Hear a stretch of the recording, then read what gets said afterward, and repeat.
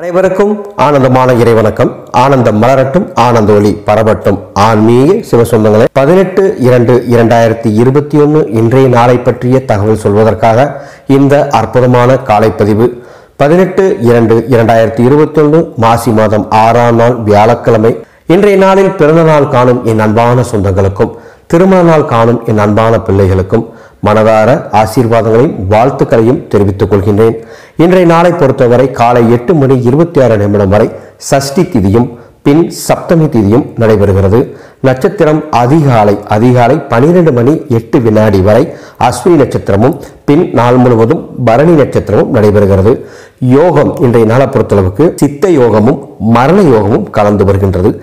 அஸ்தம் நட்சத்திரக்காரங்களுக்கும் சித்திரை நட்சத்திரக்காரங்களுக்கும் இன்றைய நாள் சந்திராஷ்டம நாளாக வருது. அதனால எந்த ஒரு காரியம் செய்வதனாலும் கூடுதல் கவனத்தோட செய்யுங்க. வாக்குவாதங்களில் வாக்குவாதங்கள்ல ஈடுபடாம வார்த்தைகளை கவனமாக பிரயோகிங்க. நல்ல நேரம் மதியம் பனிரெண்டு முப்பது மணியிலிருந்து ஒன்று முப்பது மணி வரையும் மாலை ஆறு முப்பது மணியிலிருந்து ஏழு முப்பது மணி வரையும் நல்ல நேரம் இருக்கு. ராகு காலம் மதியம் ஒன்று முப்பது மணியிலிருந்து மூன்று மணி வரைக்கும் யமகண்டம் காலை ஆறு மணியிலிருந்து ஏழு முப்பது வரைக்கும் யமகண்டம் இருக்கின்றது. அன்பானவே இன்றைய நாள் அருகில் இருக்கும் ஏதேனும் ஒரு ஆலயம் சென்று அந்த ஆலயத்தில் உள்ள நவ கிரகங்களில் குரு பகவானை வணங்குவது மிகுந்த சிறப்பை தரும். தட்சிணாமூர்த்தி வழிபாடும் இன்றைய நாளில் செய்யலாம்.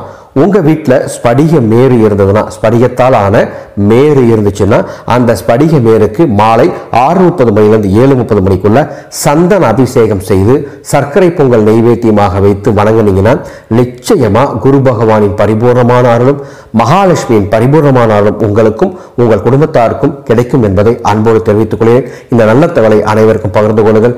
இதுபோன்று தொடர்ந்து ஆன்மீக தகவல் தெரிஞ்சு கொள்ள நம்ம சேனலை சப்ஸ்கிரைப் பண்ணிக்கோங்க. பெல் ஐக்கானையும் கிளிக் பண்ணிக்கோங்க. மீண்டும் அடுத்த ஒரு ஆன்மீகத்தோடு சந்திக்கிறேன். ஆனந்தம் மலரட்டும். ஆனந்த ஒளி பரவட்டும்.